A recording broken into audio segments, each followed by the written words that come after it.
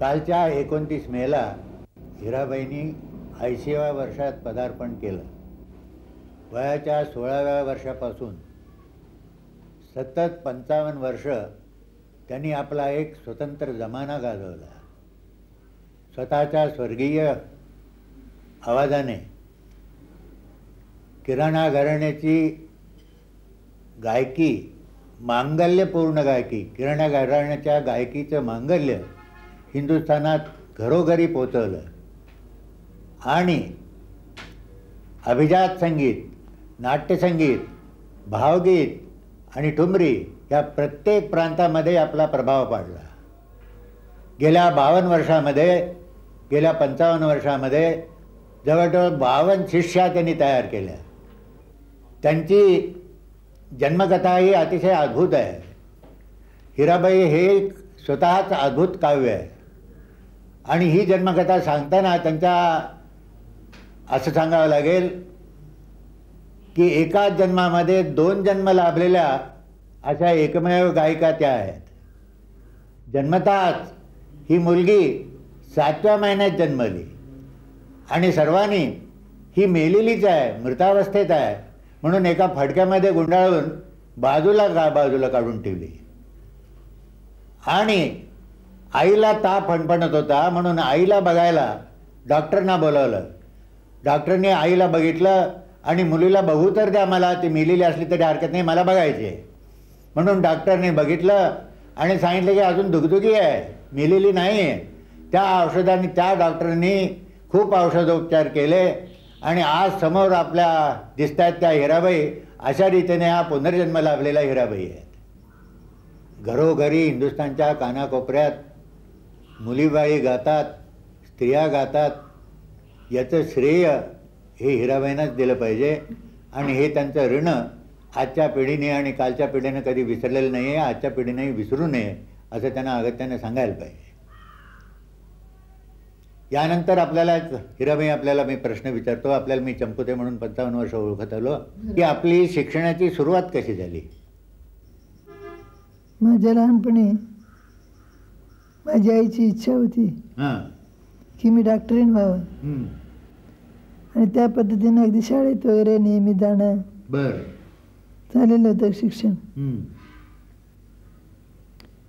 एक दिवस एक ज्योतिषी आल्या हं. आमच्याकडे. त्यांचं नाव भागवत. तर आमच्या आईने विचारलं. माझा बाबू गाईल. आणि नाव मिळवेल का बाबू म्हणजे सुरेश बाबू ते म्हणे मिळवेल हं. परंतु म्हणे कोपऱ्यामध्ये पाठी घेऊन एक मुलगी जी बसलेली आहे. म्हणजे तुम्ही. तिला गाणं शिकवा हं. ती नाव काढेल. मग आणि तीन वर्षांनी मी येईन त्या ही गाताना मला दिसेल. त्याप्रमाणे तीन वर्षांनी ते आले. आमच्या आईने नमस्कार केला आणि म्हणाले माझं खरं झालं की नाही. बर. पुढे काय झालं? पुढे शिक्षणाला सुरुवात झाली. ते कोणी शिकवलं? सुरेश बाबूंनी पहिल्यांदा शिकवलं. बर. प्राथमिक शिक्षण त्यांच्याकडे झालं. ते किती वर्ष शिकवलं? वर्षभर. बर. त्यांनी काय काय शिकवलं? सूर लावायला. हां. तानांचे घोटणे. हां त्या घोटत असत तुम्ही. हो. आणि आवाज लावण्याची तरा आवाज लावण्याची तरा आणखी खर्च लावण्याची? मेहनत चालायची आपली. मेहनत चालायची. आणि या याच्यात त्यांनी पहिली चीज कुठली सांगितली तुम्हाला? काय सखी काय सखी हां यमन रागाने सुरुवात केली. भैरव सांगितला का? हो.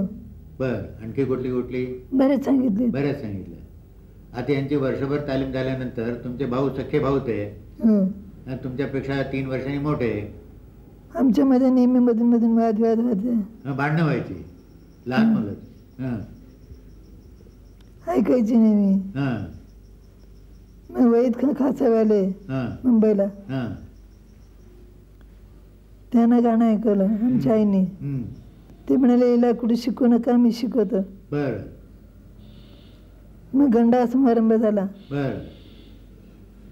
गाण्याला सुरुवात झाली शिकायला. हां. सतत चार वर्ष शिकवलं त्यांनी. पंडित विष्णू दिगंबर परुस्करांनी तुमचं गाणं गांधर्व मध्येला केलं. त्याची हकीकत जरा काही सांगा. हो. ते कुठं? त्यांना कोणी सांगितलं की एक मुलगी चांगली गाते? हां. मग त्यांनी शोध काढला. आमच्या आईंच्याकडे आले. हं. आणि म्हणाले गांधर्व महाविद्यालयाचा समारंभ आहे. त्यात तुमच्या मुलीला गाऊ द्या. ते म्हणे गुरुची परवानगी नाही. नाही म्हणे हे टाळू नका तुम्ही. तिला गायला लावा. म्हणून मला गायला लावलं. तो कार्यक्रम फारच चांगला झाला. नंतर दुसऱ्या दिवशी आमच्या गुरुजींना कळलं. की काल गायली. आणि चांगली गायली. ते रागून आले एकदम. म्हणाले कोणाच्या परवानगीने गायलात. मी म्हटलं चूक झाली. परत गाणार नाही. पण वैद खानी तुम्हाला काय काय शिकवल्या आणि गाण्याची शिकवण्याची पद्धत काय होती? सुरावट. सुरावट. आणि आलापी मुख्य. आलापी. हां. आणि पट त्या पटदीप राग सुरू केला. हां. कुठली चीज? पियानो बिया नाही आहे. हां. आणि ती किती दिवस चालली? किती महिने चालली? दोन महिने चालली होती. दोन महिने चालली होती. याचा तुम्हाला कंटाळा नाही का याचा? आणि मग याच्या पुढं काहीतरी शिकावं असं तुम्ही गुरुजीने सांगितलं नाही का? ते म्हणाले मी जे शिकवलं ते एक तास म्हणशील का? मला वाटलं मी सहज म्हणेन. बरं म्हणे म्हण म्हणून दाखव. घड्याळ काढलं. हं, हातातनं हं, आणि खाली ठेवलं. आणि म्हणे गा. वीस एक मिनिटांनी हं. गाणं संपलं. ते म्हणाले अजून वीसच मिनिटं झाली आहेत. म्हण अजून. पुढे मला येतच नव्हतं काय. गप्प बसले मी. म्हणे मुलतानी बदलायची का आता. नको म्हटलं मला तेच शिकव गाण्याचे जलसे कधी केले? एकोणीसशे तेवीसमध्ये हां. पुण्याला पहिला जलसा झाला. बर आर्यभूषण थिएटरमध्ये हो. त्यावेळेस श्रोत्यांचा प्रतिसाद कसा काय होता? तिकीट लावून झाला होता जलसा तो काहीतरी चाळीस पन्नास माणसं हां. आलेली होती. हां. बायकापैकी एक नाही कुणी. बर. एक बाई पण थिएटरात नाही. बर. कल्पना ही. की जलसा म्हणजे काय हां. हे कळलेलंच नव्हतं. बर. पुढे मग हळूहळू बायका येऊ लागल्या. हां पण नाटकाला तिकीट आपलं या जलसाला तिकीट केवढ्याची ठेवली होती? तीन रुपये पहिलं तिकीट. आणि शेवटला? आठ आणे. आठ आणि. एकंदर गल्ला किती जमला? काय पंधरा पन्नास माणसं होती. हां. पंचवीस तीस रुपये जमले असतील. हो. आणि खर्च बिर्च बागून तुम्हाला किती राहिले ते? ते कोण आहे. बरं. आणि त्यावेळेला तुमचं वय किती होतं? पंधरा वर्षाची होती.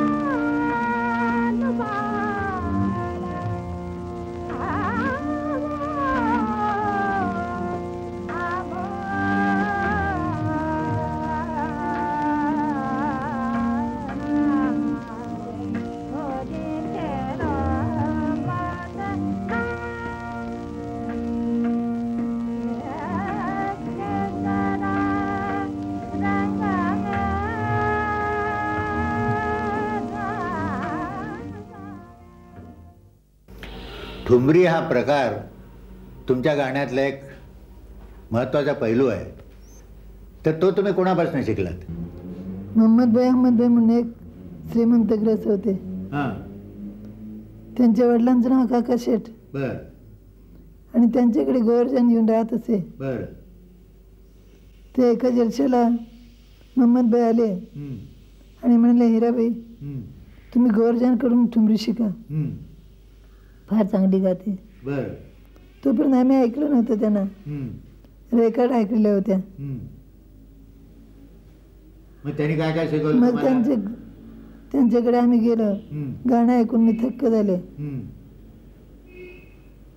त्यांच्याकडनं मी राधे कृष्ण बोल हुरी खेलो मोसेनंद हं, खेलत नंद कुमार. हं, देखी बिन नाही चैन.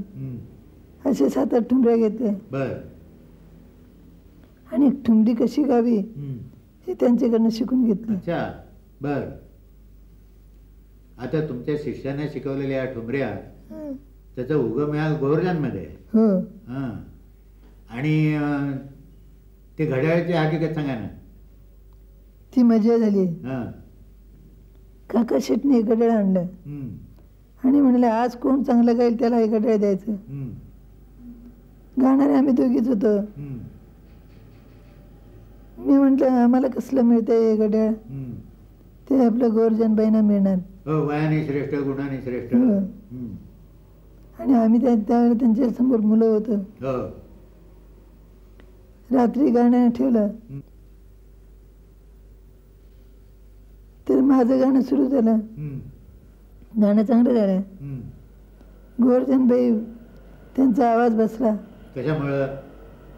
त्यांनी सकाळी उठून सीताफळं खाल्ली होती. खूप खाल्ली. खूप खाल्ली. हां.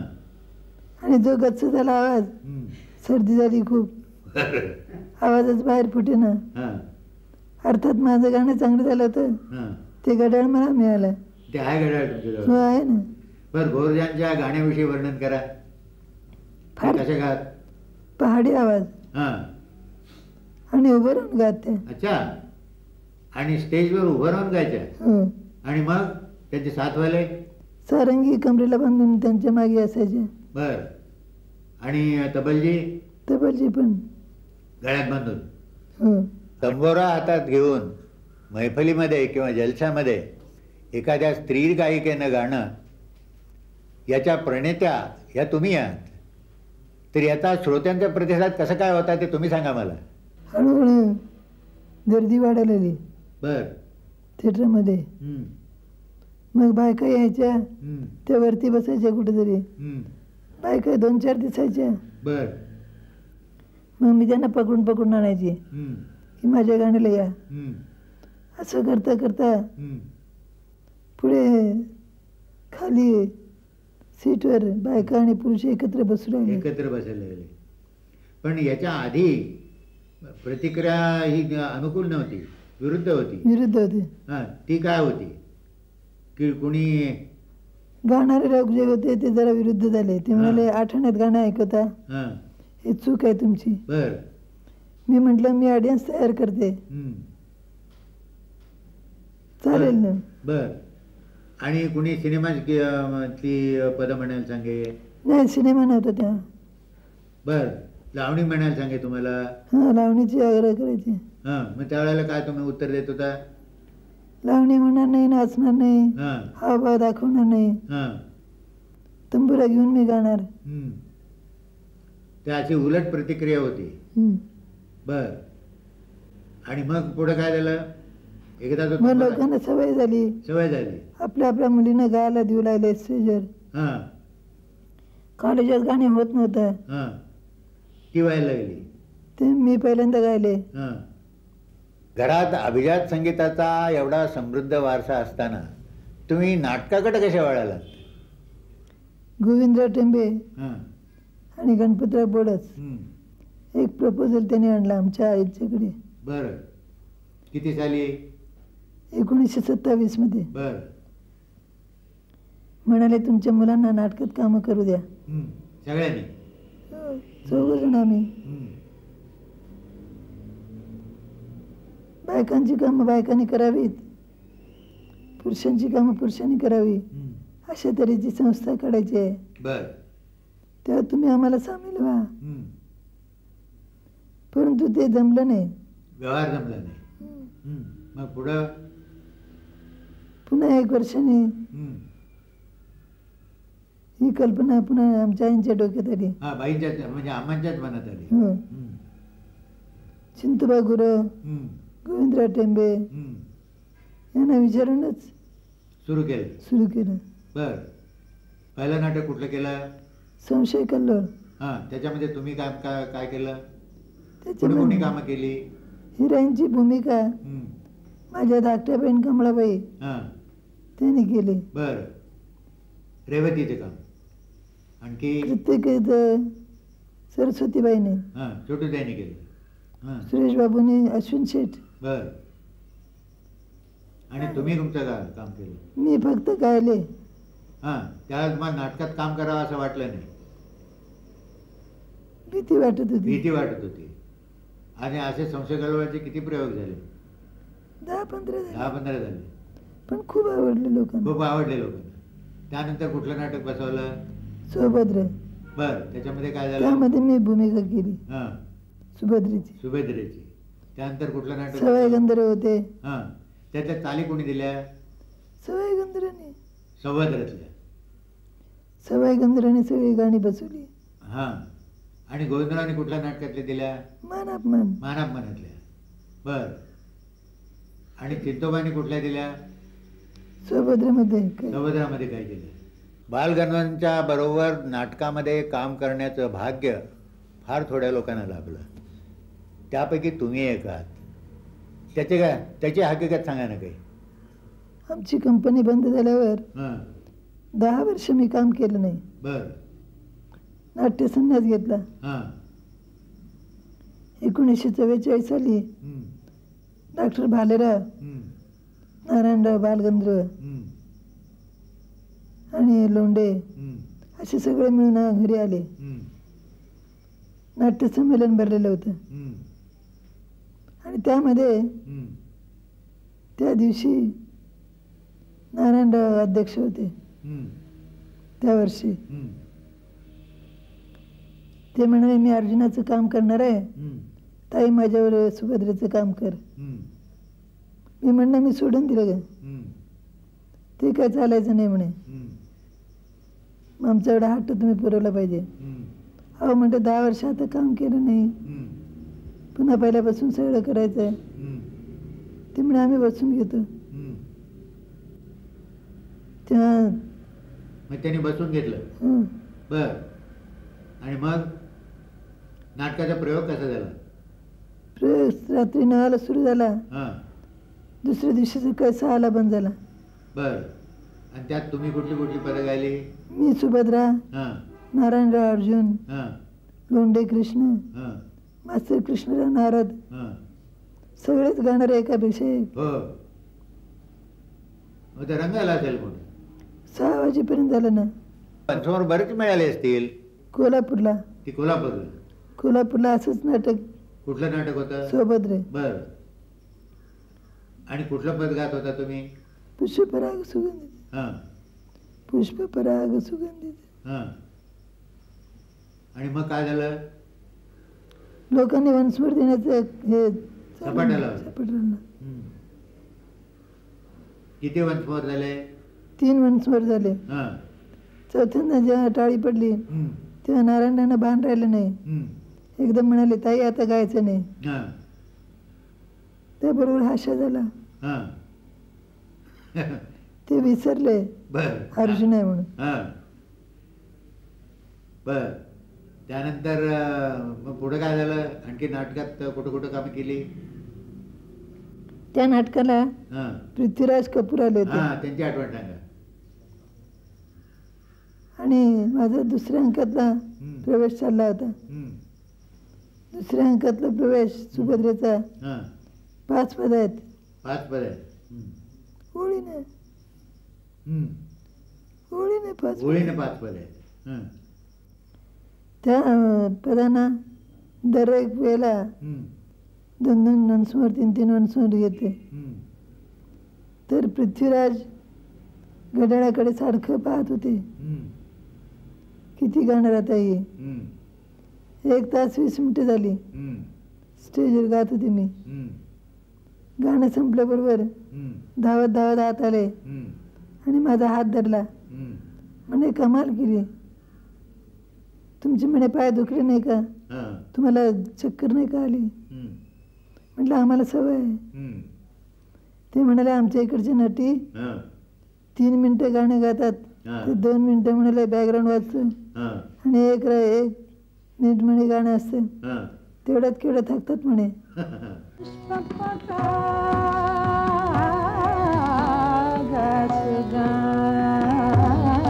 देता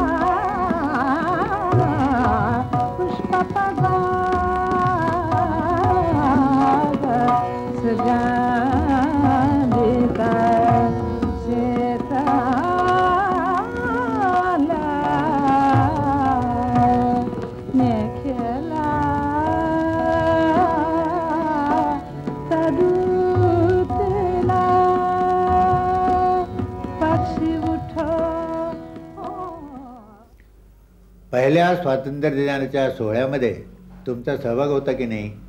त्यावेळेस तर तुम्ही ऐन उमेदीत होता. एकोणीसशे सत्तेचाळीस साली वंदे मातरम गाण्याला बोलावलं मला. बर. रेडिओ डायरेक्टरची तार आली की वंदे मातरम तुम्हाला गायचं आहे आणि तुम्ही निघून या. बर. त्याप्रमाणे एकोणीसशे सत्तेचाळीस साली वंदे मातरम पार्लमेंट हाऊसवरती मी गायले बर. तर पहिल्यांदा माउंट बेटनने हां. पहिलं निशाण खाली उतरवलं. म्हणजे इंग्रज निशाण खाली उतरवलं. हं. हां. आणि जवाहरलाल नेहरूंनी हां. वरती चढवलं. आपला राष्ट्रध्वज. त्यावेळेला मी गायलेली आहे. हां. ती किती वाजता गायलात? बारा वाजून वीस मिनिटांनी. बर. आणि हा सर्वात तुम्हाला मोठा मान आहे. रात्री बारा वाजून वीस रात्री मिनिटांनी बारा वाजून वीस मिनिटांनी त्यानंतर वंदे मातरमची दुसरी एक आठवण आहे तुमची. तीही सांगा. वंदे मातरम गाण्यासाठी पंडित ओमकारनाथ पण आले होते. हां म्हणजे सत्तेचाळीस साली का? हो. बर. त्यांचं गाणं होतं फक्त. बर. पण ते हट्ट धरून बसले हां. की मी गाणार. बर. तेव्हा मला विचारण्यात आलं की पंडितजीनं गाऊ दे का? मी म्हणलं असं कसं होईल? मला बोलवलेलं आहे मीच गाणार. तेव्हा वादविवाद होऊन शेवटी मीच गायले. सव्वीस जानेवारी एकोणीसशे पन्नास साली प्रजासत्ताक दिनाच्या सोहळ्यामध्ये खूप महान महान कलाकार गायले. ते कोण कोण होते? त्याच्या काही आठवणी सांगा ना काही. लाल किल्ल्यामध्ये दरबार भरला होता. दरबार भरला होता. हां. त्याच्यामध्ये मी गायले. बर ते काय गायला? ते गाणं झालं का वंदे मातरम झालं? गाणं झालं. गाणं झालं. बर पुढं? पंधरा पंधरा मिनटं दिली होती. कुणाकुणाला? फैयाज खान होते. हां. गुलाम अली खान साहेब होते. बरं. रविशंकर होते. हां. अली अकबर अल्लाउद्दीन खान साहेब. बर. थिरकवा खान साहेब. हां. सगळे मोठमोठे थोर सगळे लोक होते. हं. हां. लाल किल्ल्याच्या त्या ऐतिहासिक महत्त्वाच्या वास्तूमध्ये गाताना तुम्हाला काय वाटलं? फार आनंद वाटला. फार आनंद वाटला. की पूर्वी इथं तुम्ही कधी गायला असावा असं वाटलं की नाही? आम्ही म्हणालोच हां. नंतर आम्हीच गायलो म्हणून. हां. स्वातंत्र्य लढ्याच्या लढ्यात भाग घेणाऱ्या नेत्यांनी तुमचं खाजगी गाणं कधी ऐकलंय का? महात्मा गांधी जुहूला होते. हं, आणि मौनव्रत होतं त्यांचं. हं, एक दिवस सरोजिनी नायडू आल्या. हं, आणि म्हणाले चला चला लवकर. बुड्ढे को गाणं सुनाना आहे. हं. बुढे क्यों गाणं सुना ना हं. बर. म्हणलं बुड्ढं कोण? हां. ते तुम्हाला कळेल म्हणे. म्हणून गाडीत घालून मला नेलं. त्यांच्याबरोबर शंकरराव देशपांडे. सुहासिनी मुळगावकरचे वडील. वडील. ते होते.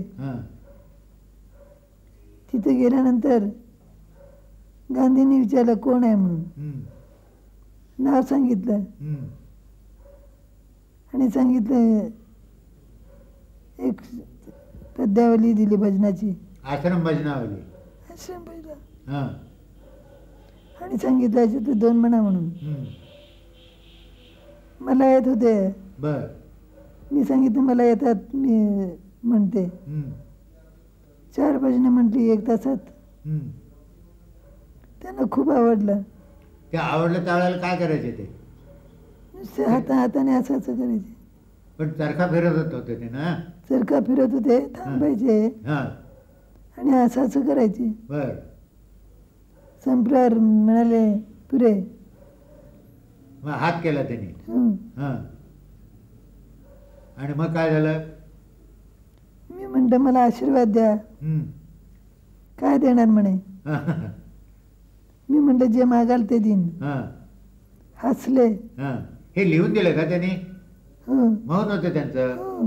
हां मग हे लिहून दिलं. हे सगळे प्रश्नोत्तर लिहून द्याले हो. बर. हसले आणखीन लिहून दिलं. हां. ते असं. की तुम्ही गाणं आतापर्यंत लोकांना खूप ऐकवलं. हं. आता परमेश्वराला ऐकवा. कल्याण होईल. सांस्कृतिक प्रतिनिधी म्हणून तुम्ही अनेक देशाचे दौरे केलेत. त्यातल्या काही आठवणी आहेत का? एकोणपन्नास साली आफ्रिकेला आम्ही गेलो. अकरा जण होतो. बरं. सुरेश बाबू माझे धाकटे बंधू कृष्णराव पापा. बापा. जोग. बीजी जो. वसंतराव देशपांडे. हां. डान्सर दोन होते. ते कोण होते? मीना जोशी म्हणून होती. निकम म्हणून होतं. बर. आणखी? रघुवीर भोपळे. हां. आम्हा होत्या का? नाही. आम्हा नव्हत्या. त्या नव्हत्या त्या. बर. माझ्या बहिणी हां बाबुरावची बाबुरावच्या सुरेश पत्नी. सुरेश सुरेश बाबूंची. बर. सुरेश बाबूने हां. पापाची. बर पापाच्या हां. बर त्यातल्या काय आठवणी सांगा. पहिल्यांदा तिथे गेल्यावरती वर्तमानपत्र मुलाखत घ्यायला आले. बर. आणि ते म्हणाले तुम्ही सिनेमातली गाणी म्हणणार आहात की नाही. म्हटलं नाही. हं. मग तुम्हाला पैसे मिळणार नाही. हात हलवत जावं लागेल. आम्ही म्हटलं पाहू. नाही तर नाही. परंतु आम्ही सिनेमाची गाणी म्हणून पैसे मिळणार नाही. नंतर पहिल्या दिवशी लोकांचं ऑडियन्स बर. परंतु गाणं कळत नव्हतं. बर. गुजराती समाज जास्त आहे तिथे. जास्त होतं. हां. आणि खोजे लोक. हां. ते मला वाटलं की तसंच होणार. दुसऱ्या दिवशी डॉक्टर जोशांनी. आपल्या घरी माझं गाणं ठेवलं. आणि सगळ्यांना बोलवलं. गाणं ऐकून खुश झाले. ते म्हणाले मग तेरा गाणी झाली जवळजवळ अच्छा.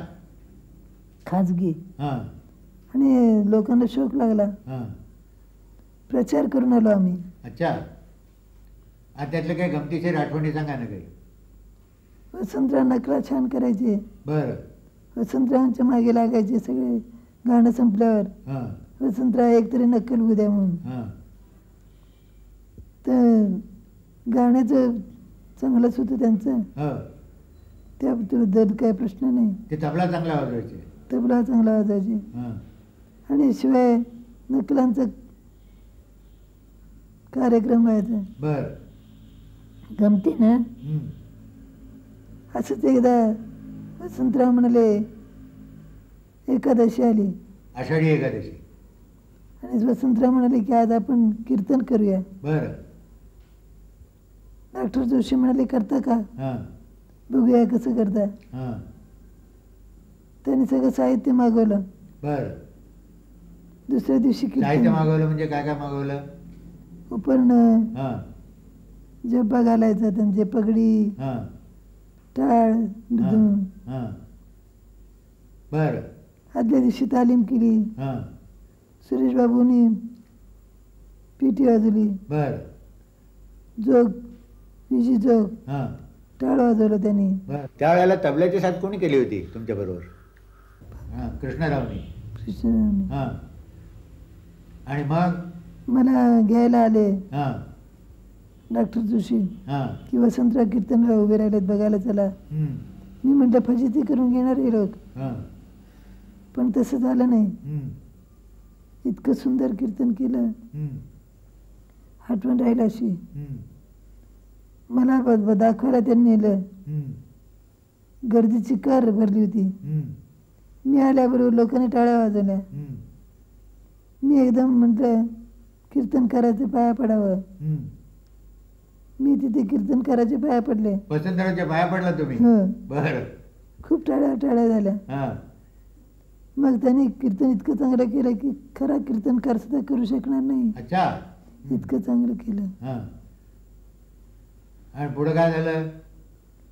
पुढे तर गल्ला जमला पैशाचा. आरतीमध्ये. हो. हां. ते तिघांनी वाटून घेतले. हां. मजा केली. देशामध्ये जलसानिमित्त तुम्ही अनेक प्रांतामध्ये दौरे केले. त्यातल्या काही आठवणी सांगा ना. नागपूरला पहिल्यांदा जेव्हा मी गेले तेव्हा आमच्या जाहिराती लागल्या जलशाच्या. त्यावेळेला स्टेजवर बाई तंबुरा घेऊन गात नसे. बरं. तिकीट लावून जलसा केलेला नव्हता. तो प्रथम तुम्ही केला. हं, तिथल्या लोकांनी भीती घातली. की स्टेजवरून उचलून येतील. अंगावर अंडी फेटती फेकतील. नागपूरचे लोक विचित्र आहेत. तेव्हा तुम्ही काय धाडस करू नका. हं, आमची आई म्हणाले काय व्हायचं ते होईल. आम्ही लावला संध्याकाळी अगदी फुल झालं थिएटर काय गाती बघूया. हं. आणि माझी नवीन रेकॉर्ड बाहेर पडली होती रूम सखी मोरी रूम जुमन. हं, ती खूप पॉप्युलर झालेली होती. पडदा उघडला. सुरेश बाबू पेटीला होते. बळवंतराव रुगडीकर तबलेला होते. पडदा उघडला म्हणाले एकदम म्हणाले अरे बापा काय आता ही गाणार? गेले आपले पैसे फुकट. नंतर गाण्याला सुरुवात झाली. हां, आस्ताई म्हटली हं, समोर आल्यावर सगळं थिएटर हवा म्हणून पडलं. हं. आणि त्यानंतर मग पंधरा वीस गाणी जवळजवळ झाली तिथे. अच्छा पंधरा वीस गाणी झाली तिथं.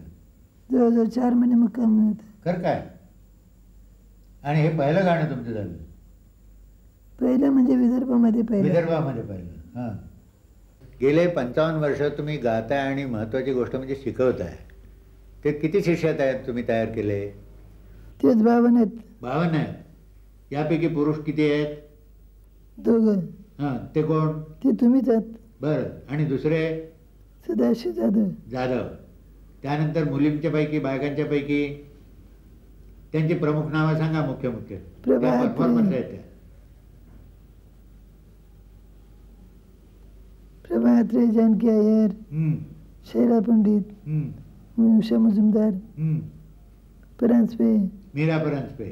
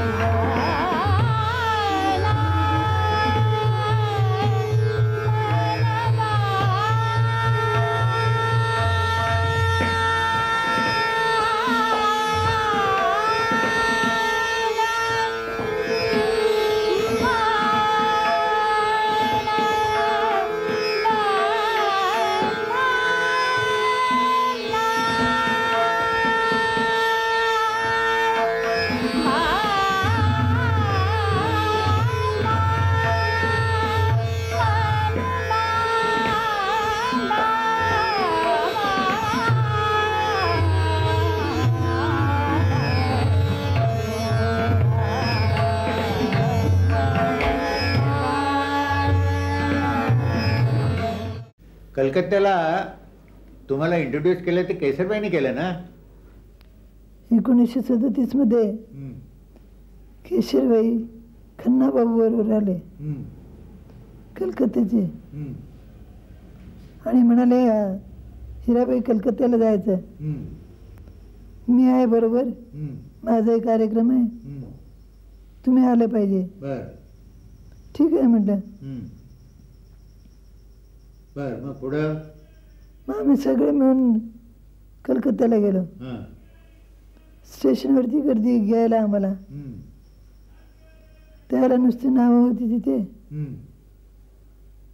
आमच्या आई केशरबाईंच्या सारख्याच मोठ्या झाड बीड हो ते होते. पाठ होते हम्म, त्या पहिल्यांदा खाली उतरल्या. हम्म. घ्यायला आल्या लोकांना वाटलं की हिराबाई याच. बर. म्हणून त्यांना हार घातला. त्या म्हणतात मला हार घालू नका मला हार घालू नका. त्यांना काही कळलं नाही.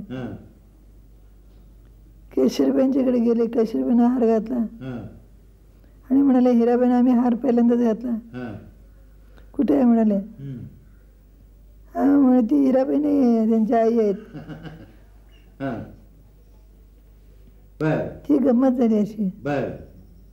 त्यानंतर त्यांनी तुम्हाला कलकत्त्याला एकंदर परिचय करून दिला. हं. कलकत्त्याला त्यांनी नेलं तुम्हाला. ती गाणी कशी काय झाली? आणि मला पाहिल्यावरती हां. ते घ्यायला आलेले लोक म्हणाले ही दोन तास गाईल का? हां. केशरबाईंना विचारायला लागले. हां. ते म्हणे ऐका तर खरं. तुम्हीच मग सांगाल. बर ते गाणं कसं काय झालं? छान झालं. बर. खूप गाजलं ते. हां.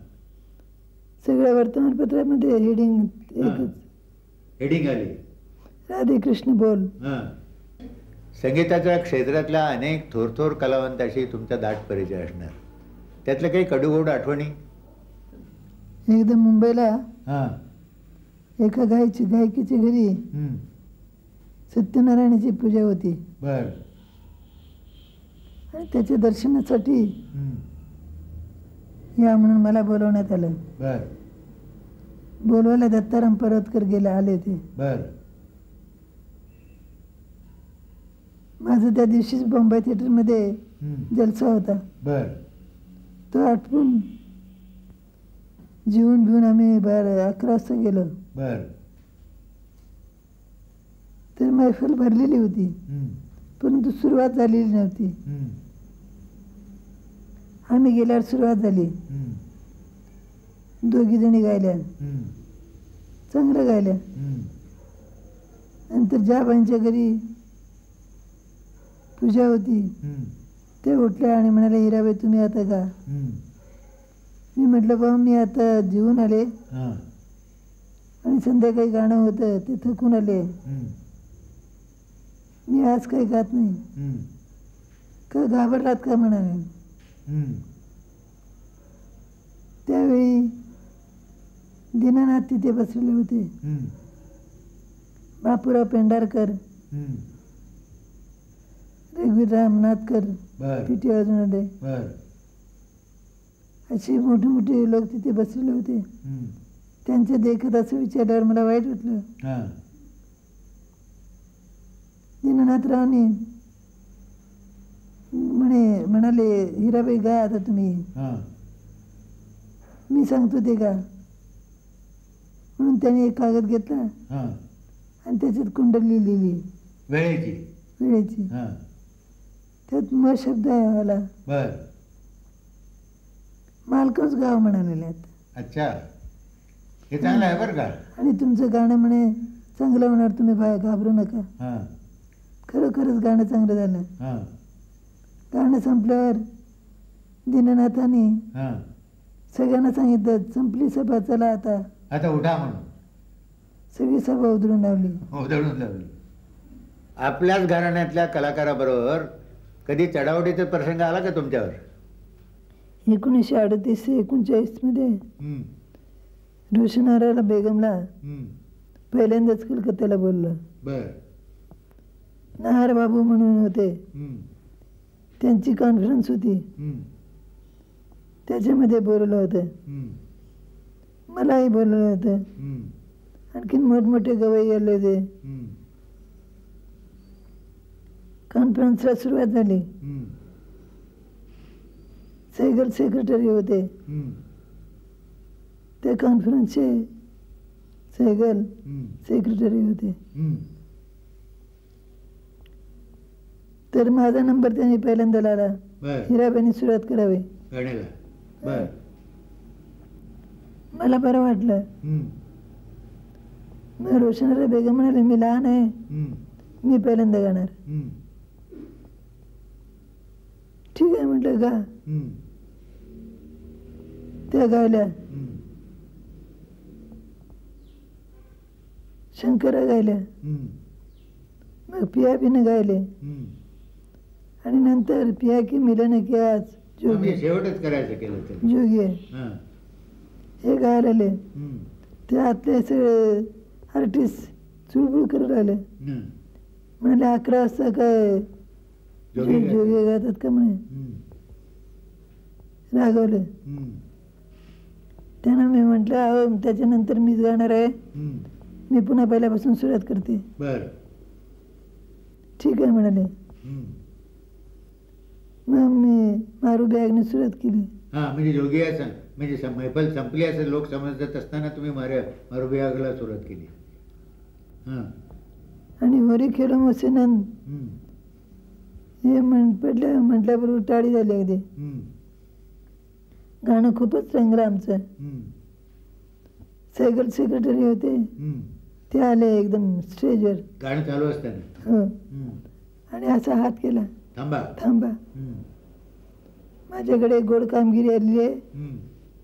ती झाल्यावर मग परत सुरू करा. त्याने एक कागद काढला बाहेर. आणि बारा गोल्ड मेडल्स मिळाली म्हणून जाहीर केलं. बारा गोल्ड गोल्ड मेडल्स मिळाली म्हणून जाहीर केलं त्याने. हो. टाळ्या टाळा. टाळा कडकडा झाला. गमतीची आहे की गमतीचे. मग आई काय म्हणाले तुमच्या? आमच्या आई काय म्हणणार? त्यांना आनंद झाला. नाही रोशनाऱ्याला रोशनाराची आई म्हणाली की तुम्ही एका घराण्याचे दोघं जण आहात. हां. असं एकमेकावर गाऊ नये हां बरोबर. म्हटलं हे मला सांगता का? हां. तुमच्या मुलीला सांगा. हां. देवावर आणि दैवावर तुमची खूप श्रद्धा दिसते. कुणी संत सत्पुरुषांच्या कधी गाठ पडण्याचा योग आला होता का? माझ्या लहानपणी मी नऊ वर्षाची होते. बरं. तेव्हा कमळाबाई टायफॉईडने चाळीस दिवसाच्या म्हणजे धाकट्या बहीण तुमची हं, गुलुताई. आजारी होत्या. हां. आणि काही राहिलं नव्हतं त्यांच्यामध्ये. बरं. डॉक्टर म्हणाले ही काही जिवंत राहणार नाही. बरं. आमच्या आईने उचललं. हां. आणि साईबाबांच्याकडे गेलं. साईबाबांना पाहिल्या बरं कमी. अच्छा. म्हणजे आजच्या हयाती हयात असलेल्यापैकी कुणीही पाहिलेलं नाही त्यांना ते. भाग्य तुम्हाला मिळालं हं. तिथे गेल्यावरती. रामनवमीचा उत्सव चाललेला होता तर काही ठिकाणी भजन चाललं होतं काही ठिकाणी गाणं चाललं होतं काही ठिकाणी प्रवचन चाललेलं होतं. असं सगळं एकदम गोंधळ चाललेला होता. मला आठवते चांगलं. त्या धुनीजवळ ते बसलेले होते. आमच्या आई कमळाबाईंना घेऊन असे गेल्या. ते म्हणाले मरत नाही आहे हम्म. आणि अंगारा काढला आणि लावला. माझ्या कपड्याला येईल आलं हम्म. ते भाग्य मला मिळालं. वरती टांगलेलं तुमचं पोर्ट्रेट बाबुरावने पेंट बाबुराव पेंटरनीच काढलं ना ते कसं काढलं आणि कधी काढलं एकोणीसशे पन्नास साली. कोल्हापूरच्या थिएटरमध्ये. गाणं होतं. मी तंबुराव मिळवत बसले होते. बाबूराव आले म्हणाले थांबा हिराबाई तसेच थांबा. मी तुमचा फोटो काढून पेंटर. हं. त्यांनी फोटो काढून घेतला. आणि मग तीन दिवसांवर बसून पोर्ट्रेट काढला.